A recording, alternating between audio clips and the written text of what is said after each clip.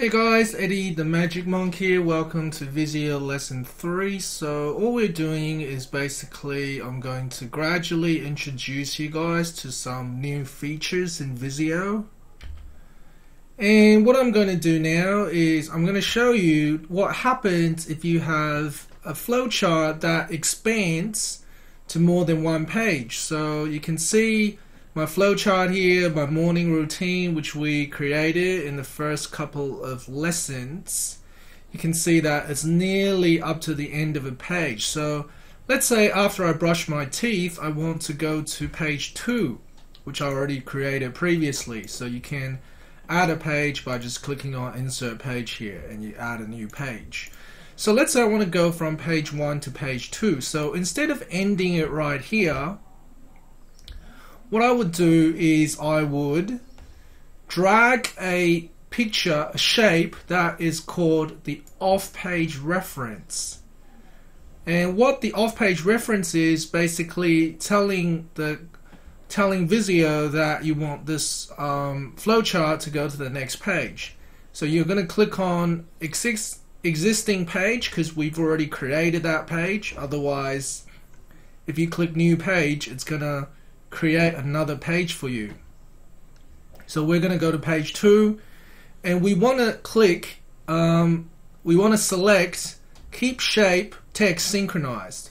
So what that means is uh, basically if I write something, write some sort of text on this shape, it's going to keep the text the same on both pages. So you need that.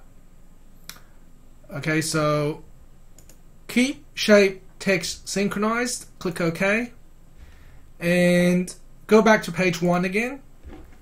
And now what happens is if you make this a little bit bigger, because it's a bit small at the moment, um, you're going to tell whoever is reading your flowchart that this is going to page two.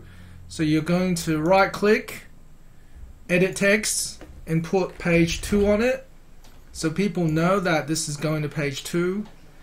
And then if you link it up, so if I link up brush your teeth to page two, then go back to the pointer tool. What happens is if you double click on page two, it automatically jumps to page two where um, this off page reference is. And you can make that a bit bigger. And so what's next? Well, let's say after I brush my teeth, I want to change my clothes. So I'm going to add another process. Add another process called get changed. And then I'll end it. Okay, and then I'll link it up with the connectors. Okay, so that is the first um, feature that I want to show you today, and that is how to go across to a different page. So you can see my morning routine, go down to here, page 2, double click on page 2, I get to page 2, and now I have this. Okay, thanks for watching guys, see you next time.